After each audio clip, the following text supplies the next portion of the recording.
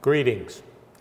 Today I am joined by leaders of the Board of Trustees, Chair Gerald Roach, Vice Chair Herman Eure, and former Chair Donna Boswell to share how our community continues to illuminate our history, address our present, and reaffirm our commitments for the future. I am profoundly grateful for so many in our community who have worked hard for us to address issues of race and equity over the last several years. The President's Commission, co-chaired by Jose Villalba and Erica Still, the Slavery, Race, and Memory Project, co-chaired by Cami Chavis and Tim Pyatt, and the Advisory Committee on Naming, co-chaired by Jonathan Walton and Donna Boswell. There have been scores of people involved in these efforts, and to all of them I offer heartfelt thanks. Most recently, the Advisory Committee on Naming has been examining meaningful ways to contextualize, remember, and honor significant figures in Wake Forest history. Trustees, administrators, faculty, staff, students, and alumni have come together to discuss how we can expand the narrative of the university. Their work has widened our understanding of the context of how our institution was started and under what circumstances it operated in the antebellum South. As we consider our history, especially the antebellum period of our history, I would like to give a backdrop of how, in general terms, we should think about history and the past. I see five guideposts for us as we explore history and the past. We need a self conscious reckoning with the past. We need to avoid the false dichotomy of our two dominant narratives we need humility and empathy to fully explore history. We need to accept that people of goodwill may disagree with our position, and we need to preserve hope. First, we need a self conscious reckoning with the past.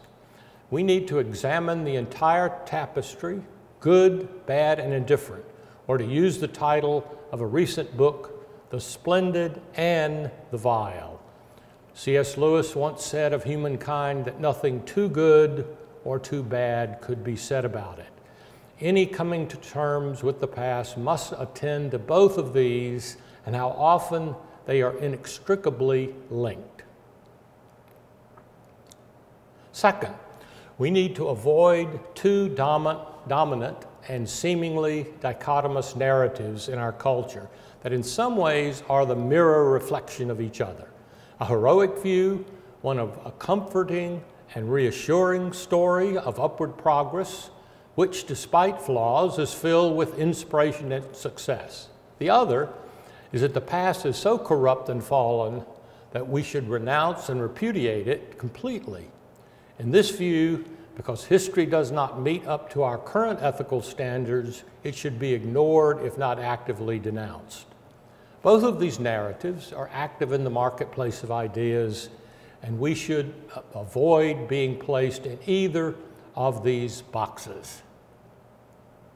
Third, we should explore the past with humility and empathy. Humility because of our failures and incomplete understanding, and because most of us are subject to current customs and points of view as people were in the past. And we know that future generations will look at even those of us who are most principled and ask, how could they have held to that belief? Or why did they sit on the sideline and not take up that cause? Shall we judge and not presume that one day we will be judged? And empathy. I've deeply appreciated the perspective of Abraham Lincoln. As the Civil War drew to a close, he declared that it had been fought to destroy slavery. And the cost of that conflagration was staggering beyond words. He was unflinching in his realism, using powerful imagery about two kinds of violence. He wondered whether every drop of blood drawn with the lash was being paid by another drawn with the sword. In his view, truth was marching on, but it was a path that had been violent and bloody. Yet, even in saying this in his second inaugural, in the very next sentence, he held out an olive branch of empathy and hope and forgiveness. With malice towards none, he said, with charity for all, with firmness in the right, as God gives us to see the right, let us strive to finish the work we are in, to bind up the nation's wounds, to care for him who shall have borne the battle, and for his widow and orphan, to do all which we may to achieve and cherish a just and lasting peace among ourselves and with all nations.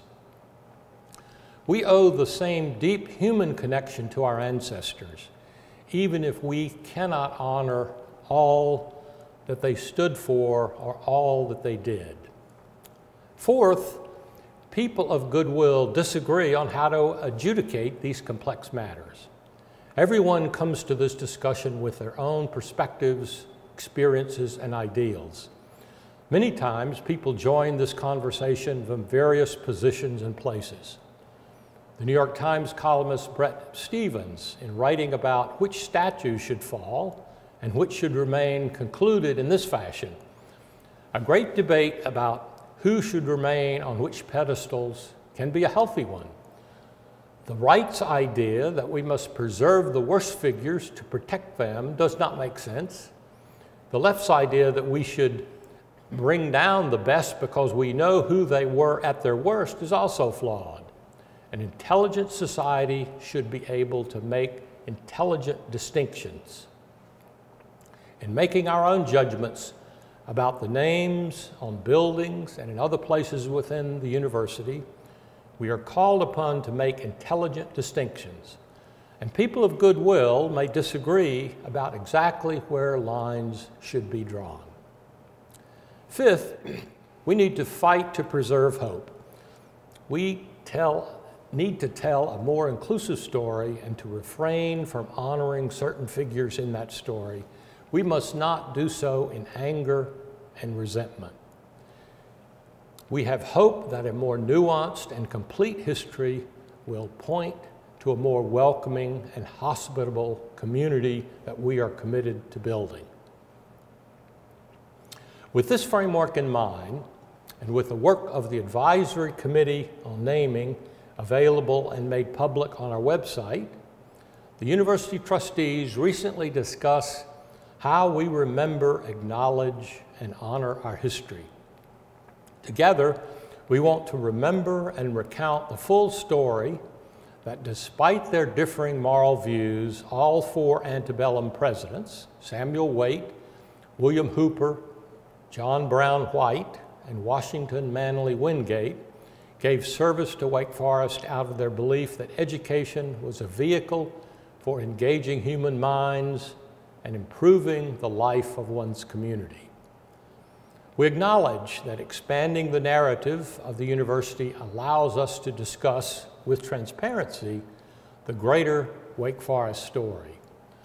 By truly understanding our history, we reaffirm our predecessors' belief in the power of education and help broaden their empathy for all human beings.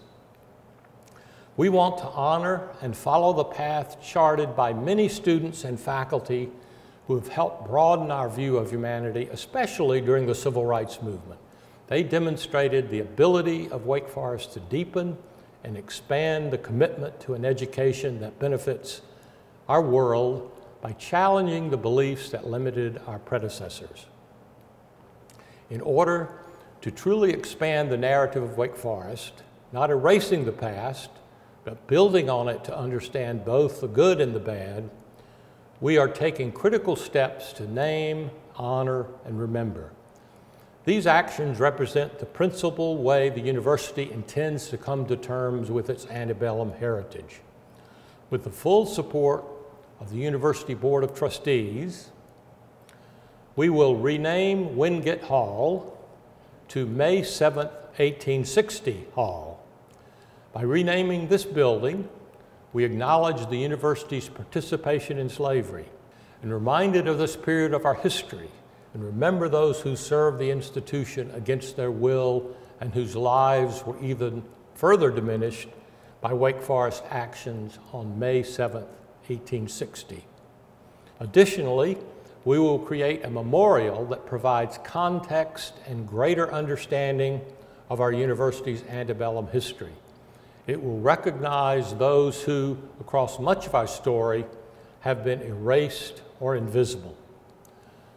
I want to thank all the members of the, this community who have sought to create a deeper understanding of our story, the good and the bad.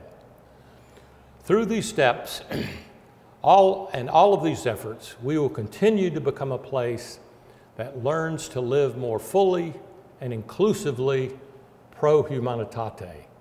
And in doing so, we narrow the gap between the ideals we profess and the lives we lead. Thank you.